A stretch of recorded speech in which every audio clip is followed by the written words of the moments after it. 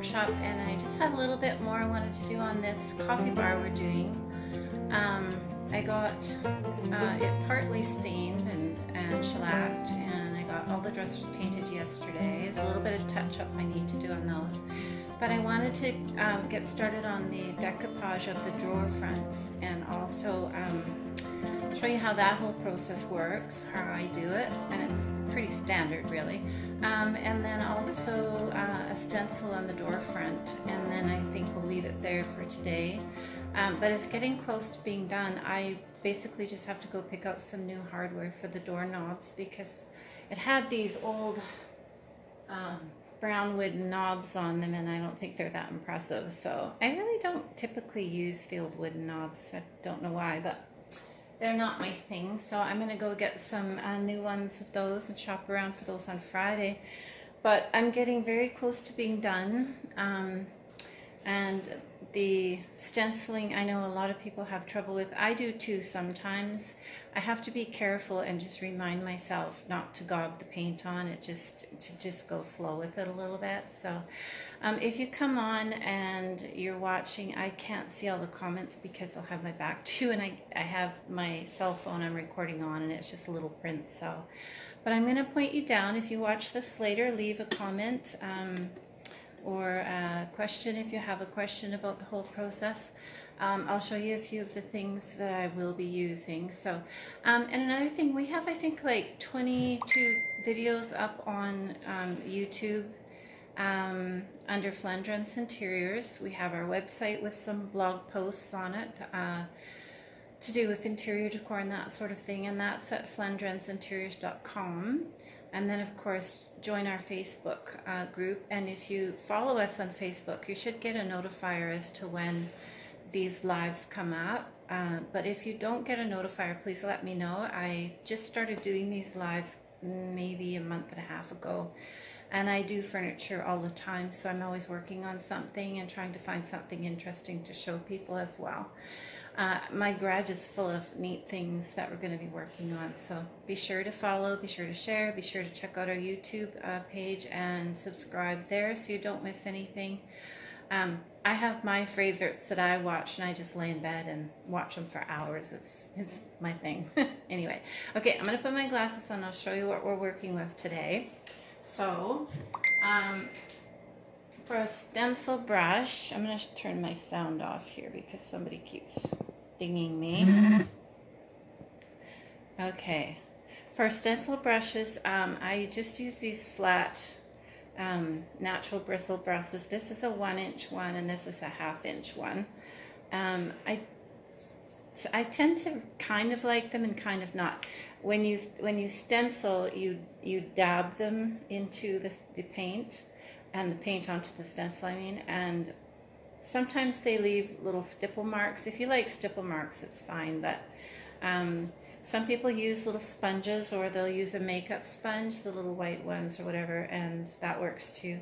These are okay. I just find I need about two good layers. On the first layer, if you want to seal the edges of your stencil, put a really thin layer with these. And pardon the fingernails, I've been sanding stuff. Um, so we will do that in a bit. Um, what I wanted to show you was I bought this package of, um, this is a tissue material. It's a wrapping tissue, they call it. Um, and I got it from Amazon. I think it was like $12 for this roll, 11 or $12, but there's like probably 50 feet of tissue on it. It's really neat if you can see it. It has all kinds of writing on it, post stamps, postcards, telegrams. Um, so I'm going to be using that for the drawer fronts and the reason is it's very antique looking but also I want the brown in it to show up on my drawer front because um, I'm trying to try trying to tie in something brown with the gray that we have on the drawers so that it ties in with the rest of the, the brown on the unit. So that I have cut. Um, I just went ahead and cut four pieces for the drawers. And I just cut them the length of my drawers. So they're, they're no special cut. Um, and I'll show you why I did that. I have a few of those. I have my roller and I'm going to be using for the decoupage material, I'm going to be using um, Fusion Mineral Paints Ultra Grip. I like the Ultra Grip because it's super sticky. Um, you just have to work it a little bit to get it to work really well. But I'm just using an old roller that I'll probably, you can wash Ultra Grip out because it's water soluble, but I'll probably just throw this out after. Hi, how are you guys? Um, and when I do the stencil, I'm going to be using, again, I'm, I'm pulling some of the brown. Um, it's the Fusion Mineral Paints Chocolate. And I just have a sample pot of this because I don't like painting anything chocolate. So I'm just going to use that just to do the stencil in a little bit here. And like I said, if you guys comment or whatnot during this, uh, once I have my back to you, I probably won't be able to see you because my cell phone's like this big. so um, you can leave a comment though. Okay, so um, I have got a drawer ready to go here, but I won't show you that one yet. This is one that I have done. I'll point you down here. Uh, I got the front of this one on. Hi, Kim. How are you? Um, hopefully you can see that pretty well. Not sure if my tripod's too high. Let me uh, well, no, I need my tripod to be high. But this drawer is done, so that's how the decoupage on the drawer is going to be. And this is the tissue material, as I was saying. It's one that I ordered off of Amazon. It was pretty inexpensive. There's about probably 50 feet on the roll. It's kind of a neat tissue because it's papery on the back, but it's almost got like a plasticky feel to the front. It's really beautiful stuff. Um, it is called just so you maybe want to order some. Um, I think it's really neat stuff. It's called Tim Holtz Idea-ology. That's the name of this tissue paper. Okay, so let's get cracking here. So I'm going to bring you guys over here to my little workbench, and this is where I'm going to be putting the, uh, sorry, it's bright there, I think, a little bit too bright. This is where I'm going to be decoupaging the um,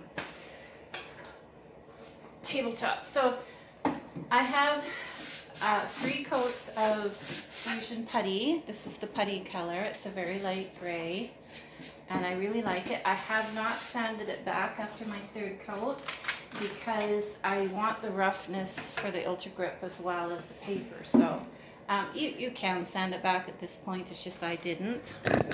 Um, and what I'm going to do is take my Ultra Grip, and I tend not to use a lot of bowls and trays and stuff, so bear with me if you think my technique is horrible, then that's okay. But I just pour it on.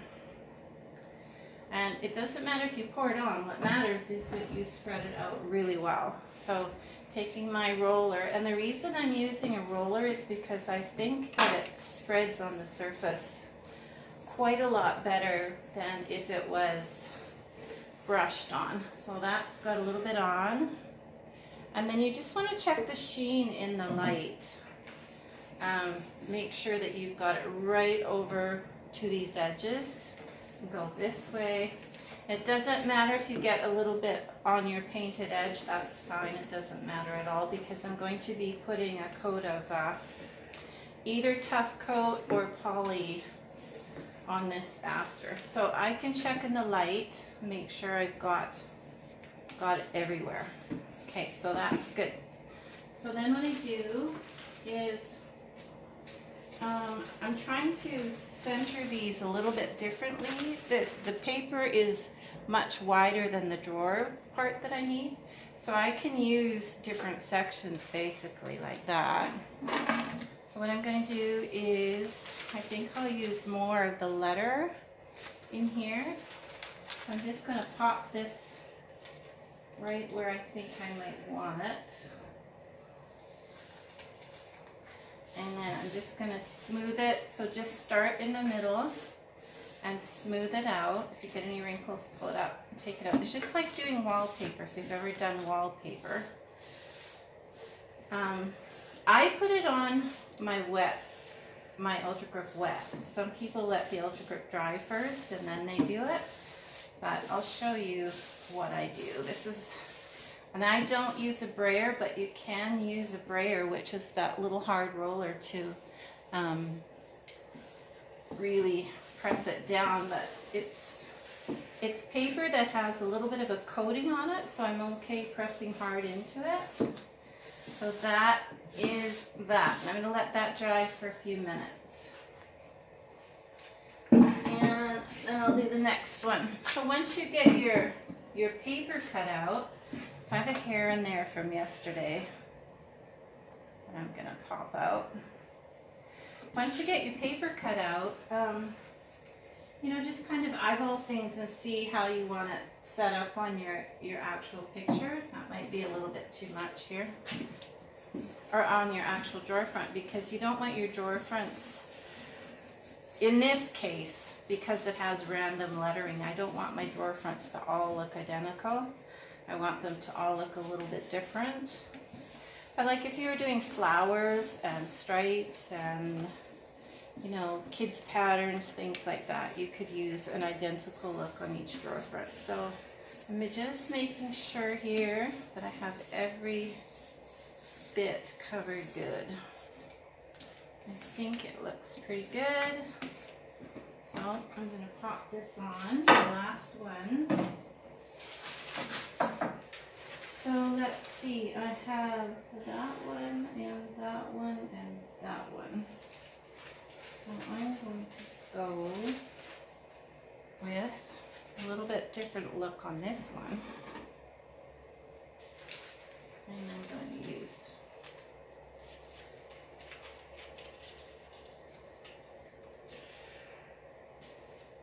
there. So I'm just putting them on randomly so that each drawer looks different because the lettering on this is upside down and sideways and all over the place. So just spread it out with your hand, just like you would with wallpaper. You work from the center out. And then once you've got it basically pressed down, then if I had a wallpaper scraper, I would, or, or spatula, I would use that even. I mean, that would work too, just as well as a brayer. But this has a nice coating on it, like I said, so I'm not afraid to press really hard into it. So because I didn't let the Ultra Grip dry first, it's going to start to bubble on me a little, a tiny little bit. I watched it before and I noticed that it did bubble a little bit. So I'll show you one that's almost done. Okay, so this one I did about, actually there's absolutely no bubbles on this one. That's awesome. I did this one about uh, half an hour ago, maybe. But I'll show you if you do get bubbles, um, you plug in your iron. It works very, very well. Wait, even when it's completely dry, and I'm just plugging in my iron over so I can show you guys. And you just put it on medium heat. Okay. I'm gonna go this way. Hopefully you can still see. Here. Um, I'm just gonna plug in my iron and I have a piece of parchment paper that I cut from earlier. And what you do is just use parchment paper. Parchment paper can take heat up to 400 degrees. So with um, the iron, what it does, if you have any little bubble, and I mean this is really, really good, except there's one little bubble here. Um, and this Ultra Grip is completely dry. So you can still use a parchment, parchment paper over top of your tissue paper, uh, wrapping paper, newspaper, whatever you are putting on your piece. And just let your iron heat up, tiny little bit, just to medium heat and go right over top of your parchment paper. And the parchment paper protects the paper underneath. It helps to seal all the edges because it really dry, it, it reactivates the Ultra Grip basically is apparently what it's supposed to be doing. So just go over it a little bit. Make sure you've got it all. And that is that. Pretty simple. So you can just do all your drawers and then, you know, get your paper on and then all at once do your parchment paper ironing and then you're done. And that smoothed that out completely. So it's completely smooth now. So that is good. Um, so how do you get this off? Some people um, use, just gonna move you in a little bit here, sorry. Some people use a knife. Some people use scissors. But the very, very easiest way to get this off, and I kid you not, you could see it happen before your very eyes, is 150 grit sandpaper on a sanding block. You have to use a block uh, because, or a, a sponge. You know, um, I'll show you what a really good block is for sanding. Uh, do you ever get these Scotch-Brites? These are just a kitchen pad, but they make excellent sanding pads. I mean, you can take that apart and wrap your your sanding paper around it, and they're excellent. So um, I keep those on hand because sometimes I lose my sanding blocks, and I just grab one of those. So this is how you get the edges off with all the trim off without um, trying to cut it off because if you cut it off, you're going to have a rough edge. So watch this carefully. Take your 150 and you go against the ridge and you just keep pressing it. You see that? Just like that. And it leaves an absolutely perfect hard edge. So I'm going to go around works really well. It doesn't matter what the paper is. If you do this, you are going to have it come out perfectly each and every time. So then we'll take this edge.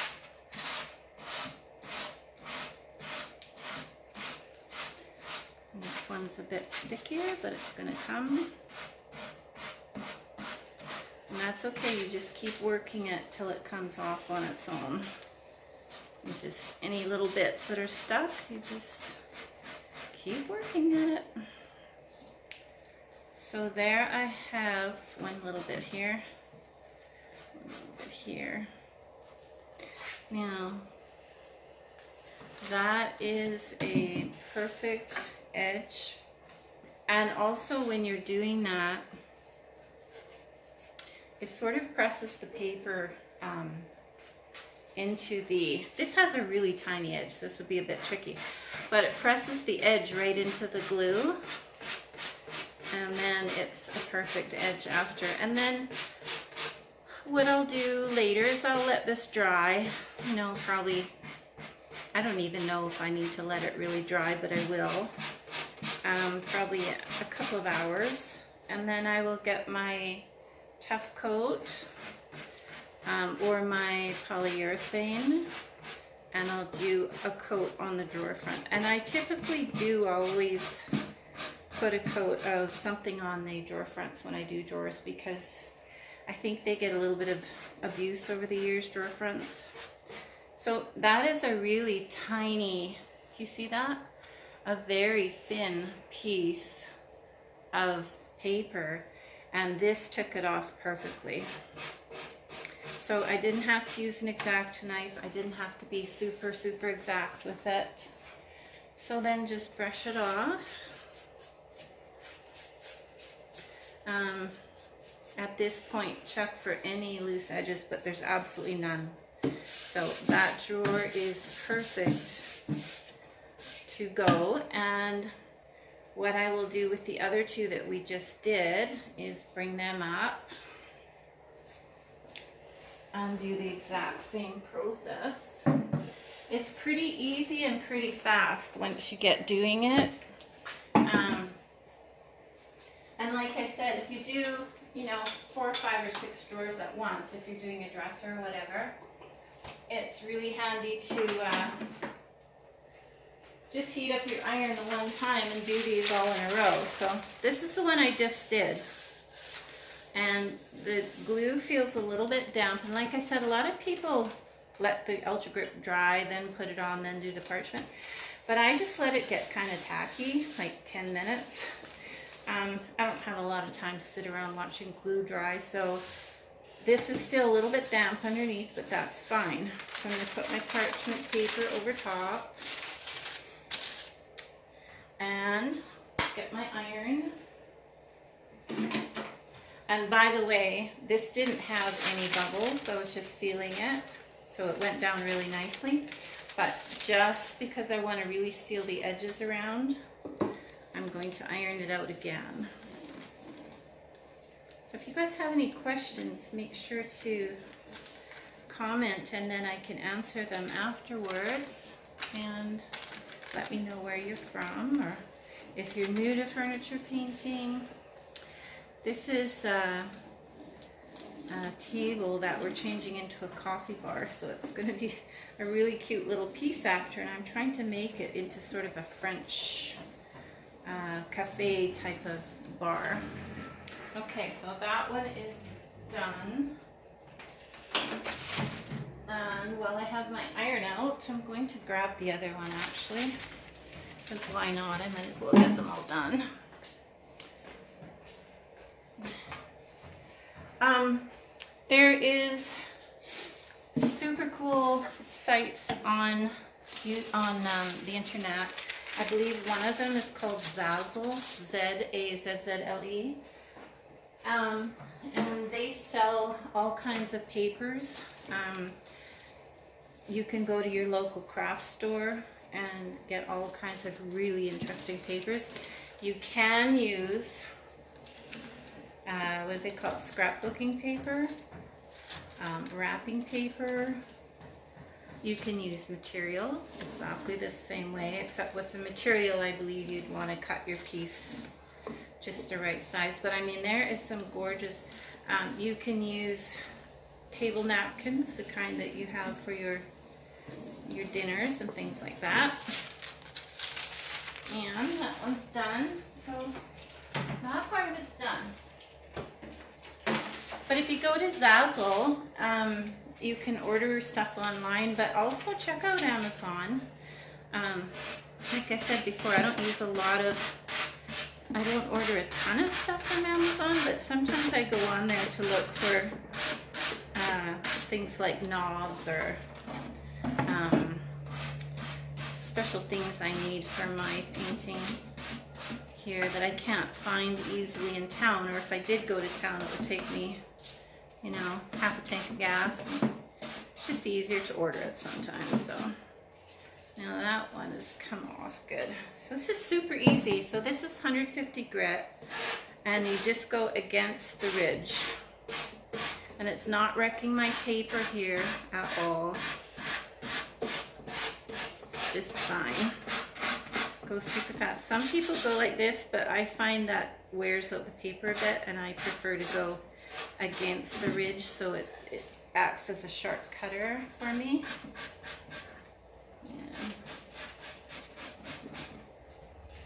There's always a little tiny bit that seems to want to stick, so, but that's good. It tells me that my glue is sticking. Okay, so that is how easy it is to get this off. Pretty simple. And when you decoupage a piece, um, it just brings it to a whole new level of coolness. Pretty neat. So in the end, because I adjusted where I put the paper, I should have four completely look, uh, completely different looking drawers, which will be kind of neat. And then next time you see me guys, uh, see me, um, I'll have all the drawers in and I'll probably have the hardware on because I got some nice brass um, knobs, but I don't have enough of them, so I'll have to go get a few more of them and just see if I can find something. I kind of try, when I put knobs on, I always try to find things that are piece appropriate so they suit the style of what I'm aiming for. Um, I often take a piece and completely change it from its original look. And usually when I do that, I have to buy new hardware because it just, the old hardware just doesn't do it anymore for it, you know.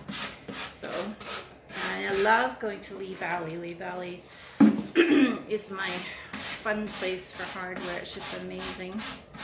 And they're not expensive either. I think I paid $4 a knob or something recently for knobs in Lee Valley that were really beautiful brass.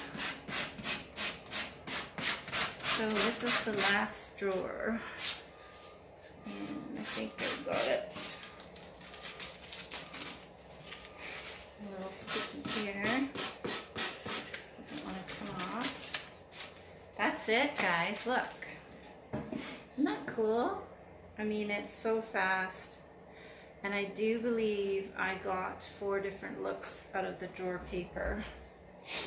So that is awesome sauce. Yeah, I did. I got four totally different drawers, so that's perfect. Okay, so I am going to show you the stenciling now. Garbage.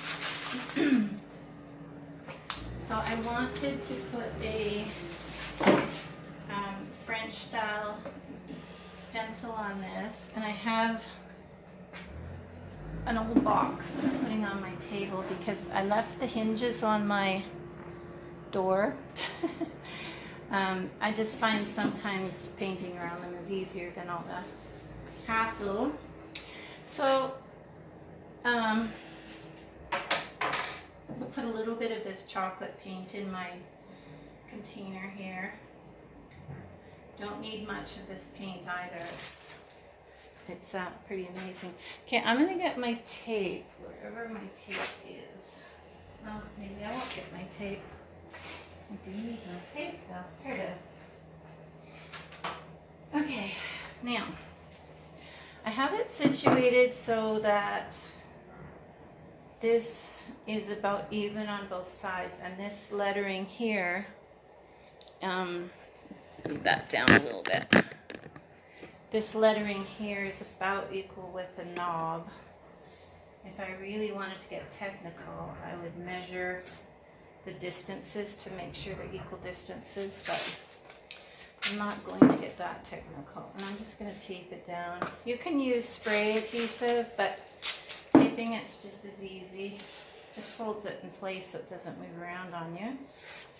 Okay, so this has my old tape. Um, that one's good. I need this one off. So this is Cafe Paris, number seven, Rue Saint Soleil, Marseille. Um, and I used this part actually on a dresser once, so it's pretty neat. So this is going to go on here because it is a coffee bar. I thought the cafe thing would be pretty cool. Okay, so I'm going to take a little brush. This is like a little soft paint brush and I'm just going to slightly go over this just to, this is just going to seal the edges for me so that when I start tapping into it, it doesn't want to tend to go right underneath. A lot of people don't do this, but whatever works. You, you kind of, after a while, learn what works for you. Just a little dusting of paint, just to seal the edges of it for that color. I've seen people who tape everything off and actually spray paint their stencil, and that just seems like a lot of work to me. But everybody does things a little differently, I think, sometimes not to judge. I certainly do things differently. So again, what I'm trying to do with these colors is I'm trying to, um, ah, I'm trying to bring some of the brown from the cabinet itself where I didn't paint it um, out to the front where the with the grays that I did paint. This is a super fine, soft, soft brush. It's, you know, can barely even, it barely even moves really. And all I want is to just get some paint around the very edges.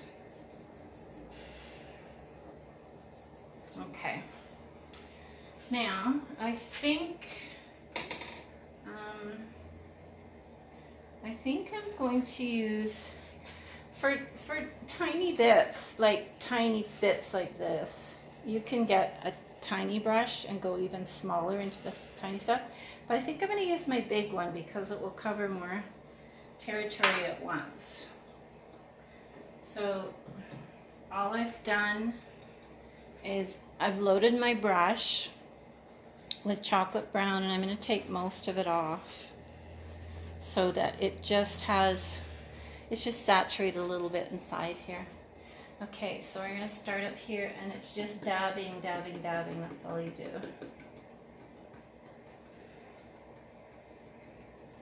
This isn't the best stencil brush, so I might change it.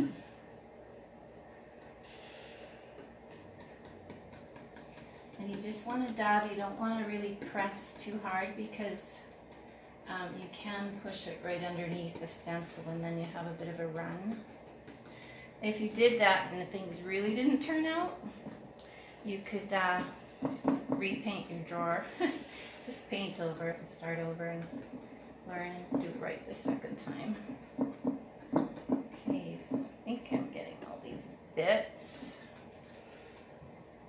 Got a little dab there, but that's okay. And I'll get some more paint from my dry bit. Put that on here. So usually you have to do about two coats. I kind of like how this is sort of modeled looking though, it's not perfect. Kind of like old fashioned looking print. I'm just going to touch up a bit of these spots where I think it's too white. Goes pretty fast once you get going, so um, once you know where you want your stencil, you can just kind of cruise from there. This is kind of an old-fashioned looking uh, stencil, and I think it will be perfect for a coffee bar. I think it will be nice. So I'm going to let that just catch some of the wind here. I think I might try my other brushes a little bit, a little bit better. Try this littler, smaller brush. Oh, that's better. You just have to check and make sure that you actually haven't missed any letters or any numbers or any pieces because this has such fine detailing in it that to get it back on the exact same place and touch it up would be pretty hard. So this is going to be uh, kind of mm, like old print, like you would see old prints. That's kind of the look I'm aiming for. I don't want the letters to be filled in really completely. I want them to look kind of opaque in places like they are looking, kind of abnormal. Maybe that's what you call it. And.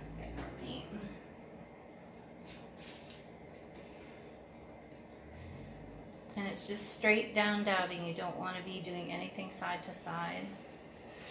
Just straight down.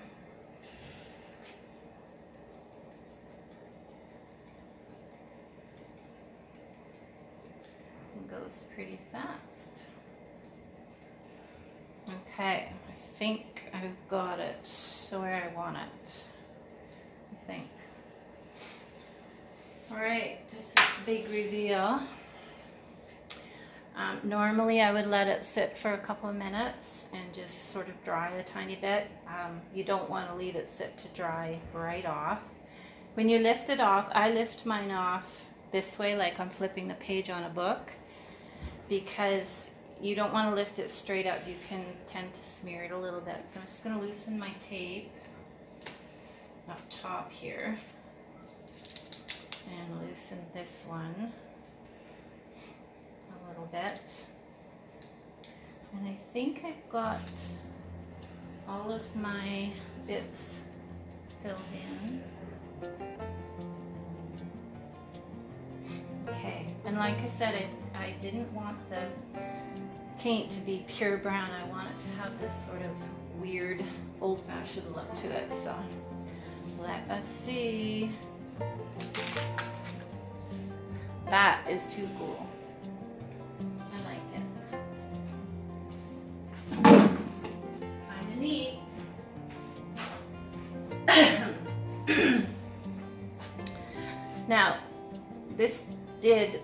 Looking at it, it did go out of the lines a little bit. Um, probably because I had some uh, Floetrol in my paint.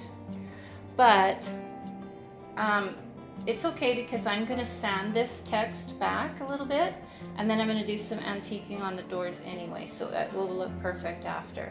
And I really didn't want it to look like perfect lettering like you would see on a sign. So that is stenciling and this is, um, next time I'd probably use just a solid paint without any Floetrol in it. But I actually like how it looks so we'll work with it. So I will leave you guys for today. It's getting really hot in here again. Um, that's the decoupage and a little bit of stenciling. I'll do some other stenciling on other pieces too, but um, uh, and then I'll put the drawers back in. I'm going to find some hardware. I'm going to finish shellacking the, the brown bit on this. Um, but I think it's going to look pretty cool. And I will probably be on possibly tomorrow, if not sometime on the weekend to finish this piece up. So thanks for watching. Share with people you know who love to paint. See you later. Bye guys.